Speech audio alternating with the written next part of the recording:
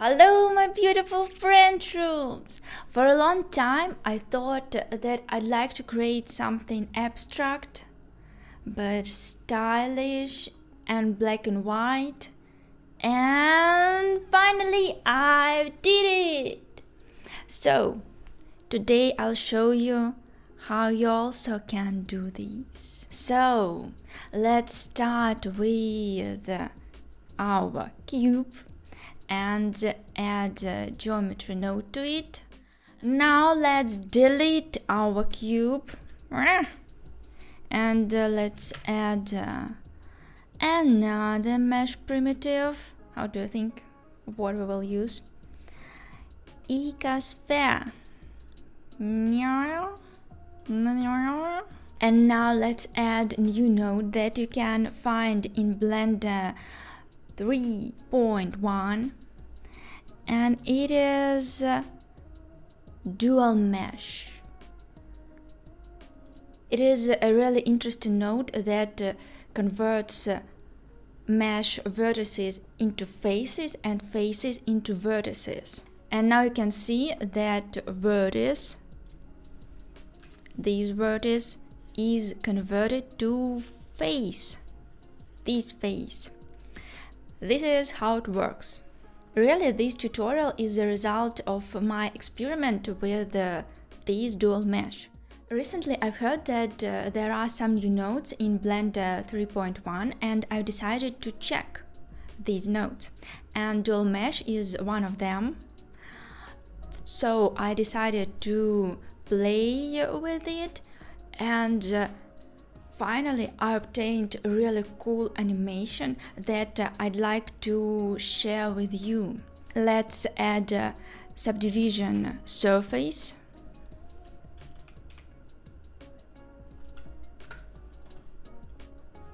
And now let's add a few levels. Now let's change crease parameter. You can see how it influences our mesh and uh, I'd like to set it 2.5 also I'd like to change radius. And now let's apply noise texture to our sphere to deform it. Here we slightly deform our sphere along normals. We use normal node as vector and uh, our noise texture as scale parameter. Here I use noise scale 1.1, detail 0, roughness 0, and distortion. Distortion we will change. Now you can uh, see how distortion influences our sphere. So it will be a part of our animation. Now let's set it to 0. Also let's uh, check how crease influence our sphere can see that after 0.5 nothing changes. You also can uh, play with it for your animation, but I'll set it to 5. Now let's animate our noise texture. I've explained it uh, in the last tutorial, so you can check it somewhere here. Now let's play our animation. Yeah. Wow! To make our animation more interesting, we will also change distortion. Here I also use a cosine function for animation and uh, then I remap uh, the result as a cosine function changes uh, from minus 1 to 1 and uh, distortion changes uh, from uh, 0 here you can specify minimal and maximal distortion that uh, will be applied. And now let's add edges to our sphere to make it more interesting.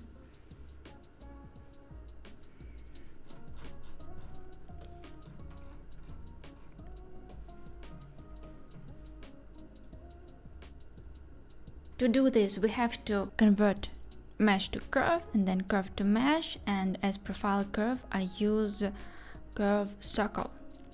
Now we have to join our meshes.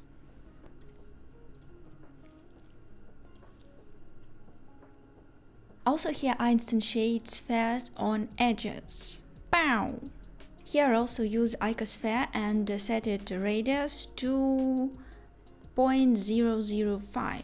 And finally let's add rotation to our sphere. Bow! Now we finished with our animation, let's set up materials. But firstly, let's set up Studio Lighting. Here I have a standard Studio Lighting setup. Background, main light, fill light and rim light. Also I have camera. Plain material I set up as black with roughness 0.8 and specular 0.5. When you set up uh, lighting and camera, it is really comfortable to have split screen when you have uh, simultaneously side view and camera view. Now we're ready to set up materials. For our abstract form, we need uh, two materials. The first one uh, for faces and the second one for edges. For edges, I use gold material I just uh, set base color to yellow and uh, metallic to 1, roughness to 0.5 and specular to 0.5. For base material I wanted to create uh, something looking like porcelain. To obtain uh, this effect uh, we have to use subsurface scattering and as base color I choose white color and as subsurface color I choose light pink. Subsurface I set uh, 2.5 and uh, now let's discuss subsurface radius. For a long time I thought what does it mean?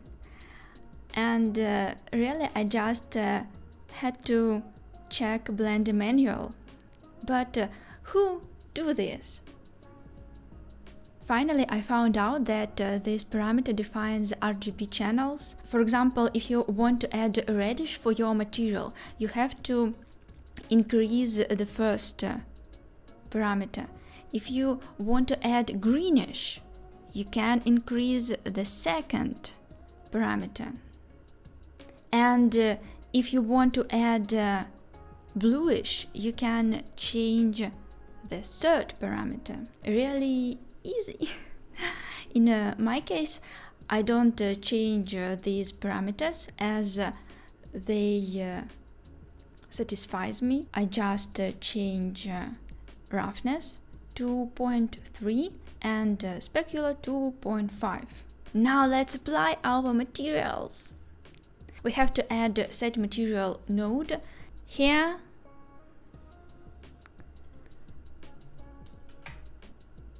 here here this is our base material this is edge material and this is also edge material and this is our final result what do you think it looks like uh? I think it's a kind of almond jelly. What do you think? Write in comments, like this video and subscribe my channel. Bye bye!